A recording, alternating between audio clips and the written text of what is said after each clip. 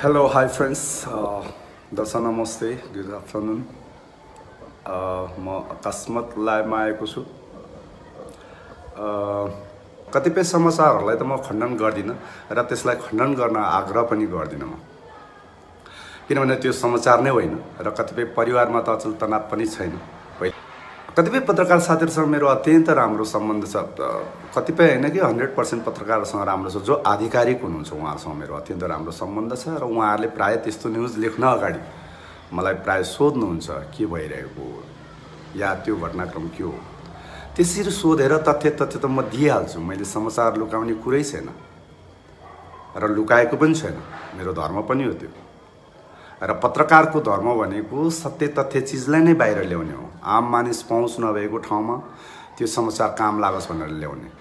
तपाईँहरूको टिआरपी बढाउनुको निमित्त तपाईँहरूको हाइप बढाउनुको निमित्त एक दुई पैसा कमाउनुको निमित्त यसरी मणगन्ते हुँदै नहुने र मेरो पारिवारिक अत्यन्त पवित्र सम्बन्धहरूलाई तपाईँहरूले यसरी न्युज बनाउनु भनेको तपाईँहरू आपराधिक कार्यमा संलग्न हुन्छ सम्बोधन हो त्यो।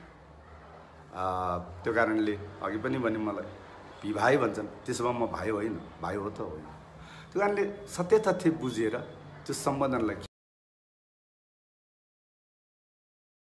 पत्रकारको धर्म भनेको सत्य तथ्य चिजलाई नै बाहिर ल्याउने हो। आम मानिस पहुँच नभएको ठाउँमा त्यो समाचार काम लागोस् भनेर ल्याउने। तपाईँहरूको टिआरपी बढाउनुको निमित्त तपाईँहरूको हाइप बढाउनुको निमित्त एक दुई पैसा कमाउनुको निमित्त यसरी मणगन्ते हुँदै नहुने र मेरो पारिवारिक अत्यन्त पवित्र सम्बन्धहरूलाई तपाईँहरूले यसरी न्युज बनाउनु भनेको तपाईँहरू आपराधिक कार्यमा संलग्न हुन्छ सम्बोधन हो त्यो।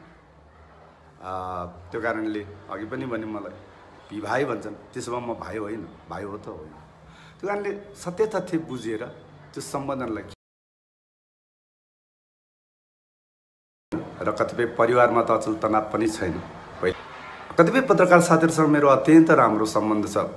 कतिपय होइन कि हन्ड्रेड पर्सेन्ट पत्रकारहरूसँग राम्रो छ। जो आधिकारिक हुनुहुन्छ उहाँहरूसँग मेरो अत्यन्त राम्रो सम्बन्ध छ र उहाँहरूले प्रायः त्यस्तो न्युज लेख्न अगाडि